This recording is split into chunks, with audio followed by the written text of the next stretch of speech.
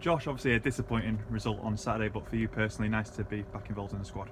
Yeah, yeah, definitely. I don't think obviously the game didn't go the way we planned, but uh, on a personal note, it's been a while since I've been involved in sort of a match day sort of routine, so it was good to get my pre-match, get everything going, and be around the boys on game day. How's the rehabilitation gone this summer? Uh, it's gone really well, yeah. Uh, the last few weeks has come on really well. I've been training with the boys.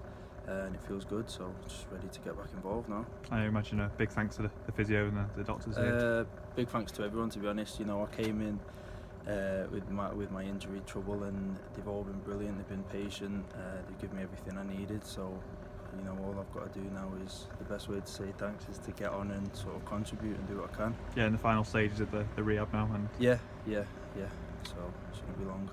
Obviously, you, have been watching throughout the, the pre-season, the start season. How do you think things have gone so far? I think they've gone well. I was impressed pre-season the way we play football. I think we had some good results. We started the season well like I said, the game at the weekend wasn't great, but uh, it's early and we're just we're just getting going. So I feel good about it. I'm impressed. Yeah, it's obviously a new new group. How's the, the squad gelling?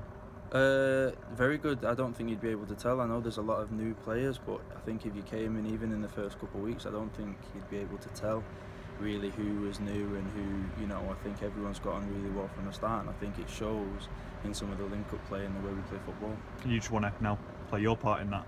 Yeah, definitely. It's difficult when you come around, you see the boys in pre-season getting ready for the games, having a meeting before the game, and you're not involved. So I think all you want to do is, is contribute and do your part. So you know, I'm, I've got a little bit of a taste of the weekend, and I'm, I'm raring to go.